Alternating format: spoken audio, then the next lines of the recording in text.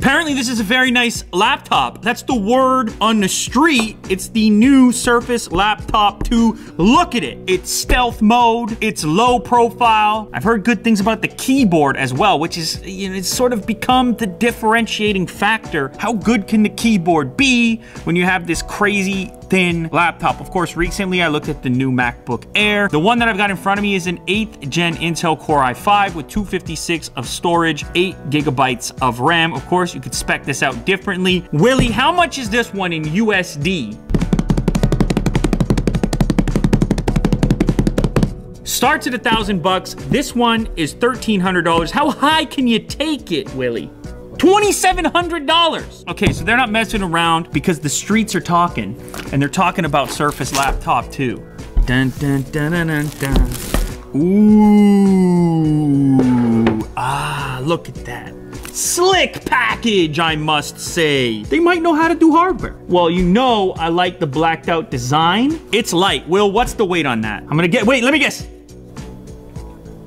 Three point two pounds. Is that 2.7? 2.76. You know what that means? It is almost the exact same weight as the new MacBook Air. It's 2.75. We have USB, Thunderbolt. There's a headphone jack as well. It's some kind of a proprietary connector. I'm assuming it's like the other Surface products. Wow, the power brick is tiny. So you would just give it like that. It's magnetic. And that's a nice touch as well. On the power adapter, they give you the, the USB. How big is the screen, Well, 13.5. Just a little bigger than the MacBook Air as well. Ooh, some hardware. Would you look at that? This is soft. Woo! Will, just come for a quick touch. Quick touch. Come on, please. Show the people. Give them a quick one. Mm. Exactly. Uh. There it is. That's the noise you would make. Uh. Just look at Jack and do that. You got a pretty big trackpad here. There's a little bit of flex in the middle here. The keys themselves definitely have more travel than the MacBook series, in my estimation. That's a real, look at that. Here's a look at the display. Seems pretty high resolution. Will, can we get a pixel count, please? 2256 by 1504. Kind of an unusual resolution. It's a little bit lower resolution than the new MacBook Air. Also, from a brightness perspective, I mean, this is a very bright environment, but I kind of wish it had a little more, a little more jump to it. There's a slightly brighter background. I would say it's sufficient. It's not the brightest display I've ever seen. A little bit of typing here on the keyboard, and I'm a fan of it.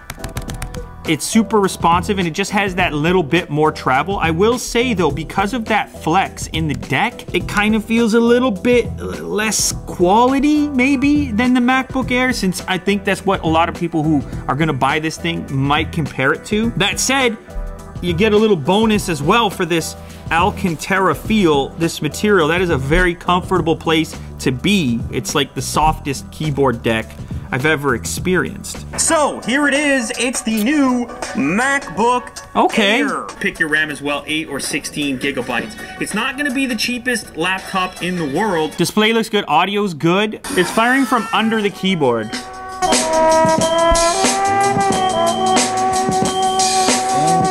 gonna get the job done. I mean, you still have the headphone jack, so you could use that too. The keyboard is also backlit. Let's see if I can boost it up here. Yes, the keys are illuminated.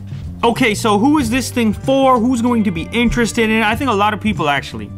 You want a thin and light, you want something portable, you like the stealth look. If you're a user who wants something thin and light under three pounds, but you want to step up to say the i7 and spec this thing out, it does go all the way up to like 2,700 bucks. This is one of the few places you can do that in a sub three pound package that's finished quite like this one. Now, if you are considering the Apple side of things, then this thing goes direct head to head with that brand new MacBook Air. And in that case, I think this one offers up a little bit more configurability with the processor options, but the MacBook Air is kind of tough to touch from a fit and finish standpoint. The thing just feels super solid. Not that this one doesn't, but Apple does a really good job of giving you a solid unibody construction. Obviously, this can do something that you can't do on a MacBook Air. You can reach up and touch the screen. After all, this is a Surface product still.